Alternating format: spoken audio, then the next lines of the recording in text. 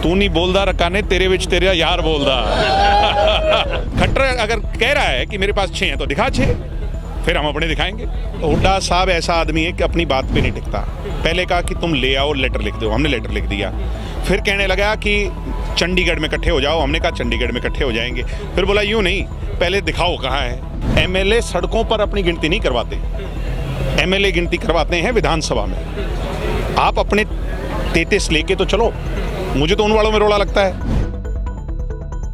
जब से प्रदेश में तीन निर्दलीय विधायकों ने भाजपा का साथ छोड़ा है, तभी से सियासी गलियारों में बयानबाजियों का दौर थमने का नाम नहीं ले रहा है। इसी कड़ी में सिरसा पहुँचे जेजेपी के प्रधान महासचिव दिग्विजय चौटाला ने देवेंद्र बबली और भाजपा सरकार पर निशाना साधते हुए कहा कि यदि उनके संपर्क में जेजेपी के छह विधायक हैं तो वे दिखाएँ, नहीं है तो हम दिखाएँगे। इतना ही नहीं, दिग्विजय ने देवेंद्र बबली पर तंज कसते हुए कहा कि तू नहीं, तेरे पीछे रकाने, तेरा यार बोलदा। कर ले तो दावा ठोक ले, कौन सा रोके कोई? तू नहीं बोलदा रकाने तेरे विच तेरा यार बोलदा। ठीक है? तू नहीं बोलदा तेरे इसके बीच में खट्टर बोल रहा है। और वो खट्टर अगर कह रहा है कि मेरे पास छह हैं तो दिखा छह फिर हम अपने दिखाएँगे। अभी हूँ भाई अगर छह उनके पास हैं तो वो दिखाएँ नहीं तो हम दिखाएँगे। जब लोग कैमरे पे आके कह रहे हैं कि हम दुष्यंत के साथ हैं तो फिर मेरे हिसाब से कॉमन सेंस खट्टर साहब को भी और इसको बबली को भी होनी चाहिए। दिग्विजय चौटाला के निशाने पर पूर्व मुख्यमंत्री भूपेंद्र सिंह हुड्डा भी रहे। उन्होंने कहा कि भूपेंद्र हुड्डा अपनी बात पर नहीं टिकते हैं। मुझे तो कांग्रेस के विधायकों पर भी शक है कि वो उन्हें समर्थन देंगे या नहीं।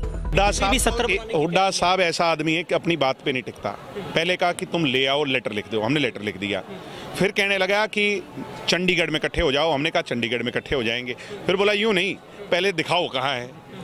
तो भले आदमी हुड्डा साहब, दो दो बार का मुख्यमंत्री रह लिया आप। संविधान का आपको ये पता होना चाहिए, एमएलए सड़कों पर अपनी गिनती नहीं करवाते। एमएलए गिनती करवाते हैं विधानसभा में। आप अपने तेतीस लेके तो चलो। मुझे तो उन वालों में रोड़ा लगता है। आपको लगता है किरण चौधरी वोट दे देगी हुड्डा साहब के कहीं, जिसकी बेटी का टिकट काट दिया हो, और लोग वोट दे देंगे। ये ईडी, सीबीआई से डरे हुए लोग हैं, घबराए हुए लोग हैं। और ये चौधरी देवीलाल जी चौटाला साहब अजय सिंह जी की तरह जो है ना निडर लोग नहीं है जिन्हें जेलें भी काट ली लोगों के लिए। ये बहुत कायर लोग हैं। सिरसा में भाई साहब कैसे देख रहे हैं? एक तरफ़ कुमारी शैलजा है उधर से अशोक तंवर है दोनों आरोप लगा भाई कुछ भी हो आज जो टिकटें बटी हैं शैलजा जी का मैं बहुत आदर करता हूँ। वो महिला नेत्री हैं और बहुत बढ़िया नेता है अच्छी बात है। मगर एक थोड़ा सा लोग सोचें इस बारे में। कि यहाँ पर डला हुआ वोट आज तो शैलजा को डल जाएगा। मगर शैलजा को नहीं जाएगा। वो विधानसभा में फ़ायदा पहुंचाएगा भूपेंद्र हुड्डा को। जब आज सीटों का बंटवारा वो कर सकता है तो कल तो पूरा ही कब्जा करेगा वो कांग्रेस पे। इस बात से सहमत होना चाहिए सभी को। आज कांग्रेस को डला हुआ वोट भूपेंद्र हुड्डा को जाएगा। उसमें शैलजा नाम हो सुरजेवाड़ा नाम हो, कोई और नाम हो। साहब क्या जेजेपी की तरफ़ से भी आने वाले दिनों में कोई बड़ी सभा होगी कोई रैली होगी इस तरीके की? निश्चित तौर पर होगी बड़ी सभा होगी। हम चुनाव के लास्ट तीन दिन हमने रैलियों की रखी। कुरुक्षेत्र में कैसे लग रहा है आपको? मैदान में?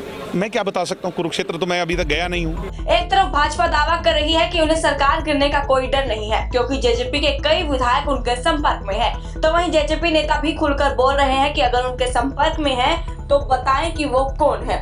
हालाँकि किसकी बातों में कितना दम है, ये तो आने वाला समय ही बता पाएगा। सिरसा से सतनाम सिंह, पंजाब के टीवी।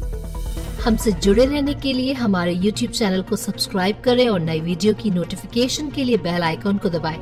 अगर आप ये वीडियो Facebook पर देख रहे हैं तो लाइक ज़रूर करें और ज़्यादा से ज़्यादा शेयर करें धन्यवाद